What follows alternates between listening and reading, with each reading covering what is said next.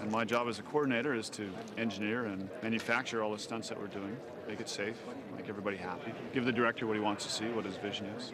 When it goes, it's like, whoa, hands in the air, couple in. Remember your elves. As much as it's it's a catastrophe, it's still fun. Nobody gets hurt. When Buddy body checks somebody that's so small, we thought we got a bleacher. Let's pop them into the bleachers. They break. Everybody falls in a big hole in the bottom. So with the special effects department, we engineer how we can build these bleachers and manufacture them with a hinge and a hydraulic system in them so that they can pop up and slide in. There's about four people that I use for stunts. They're new in the industry, they're just starting out, so something like this, it's not really that difficult to do.